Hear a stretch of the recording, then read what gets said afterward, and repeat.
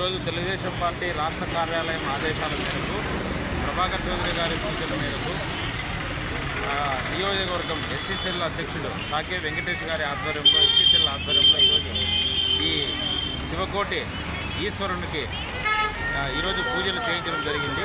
ముఖ్యంగా ఈ చంద్రబాబు సైకో ముఖ్యమంత్రి చంద్రబాబు ఉన్న- సైకో ముఖ్యమంత్రి జగన్మోహన్ రెడ్డి గారు అనేక అరాచకాలు అనేక అకృత్యాలు చేస్తున్నాడు.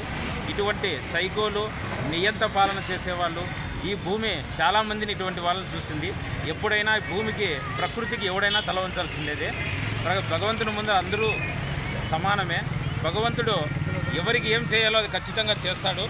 ఈ జగన్మోహన్ రెడ్డి కూడా ఈ విషయాన్ని గుర్తు చేసుకొని ఈ జగన్ జగన్మోహన్ రెడ్డి బుద్ధి మారాలని చెప్పి ఈరోజు పరమేశ్వరుడైనటువంటి ఈశ్వరుణ్ణి ఈరోజు వేడుకోవడం జరిగింది. ఈ సైకో పాలన అంతం కావాలి సైకో పాలన పోవాలి. ఈ నియంత చర్యలు కక్ష సాధింపు చర్యలు ఇతను ఇప్పటికైనా మానుకోవాలని చెప్పి ఈ వ్యవస్థలన్నీ మేనే మేనేజ్ చేస్తున్న జగన్మోహన్ రెడ్డి దేవుణ్ణి మాత్రం మేనేజ్ చేయలేడు. ప్రకృతి చాలా గొప్పది దేవుడు చాలా గొప్పవాడు. ఈ భూమిమ్మ తల్లి ఇంకా చాలా గొప్పది.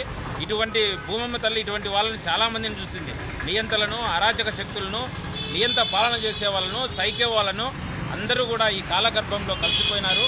మీరు కూడా భవిష్యత్తులో కలిసిపోయే అవకాశం లేకోకుండా ఒక మంచిగా నాయకుడిగా మంచి పేరు తెచ్చుకోవాలని చెప్పి ఈ సందర్భంగా తెలియజేస్తున్నాను.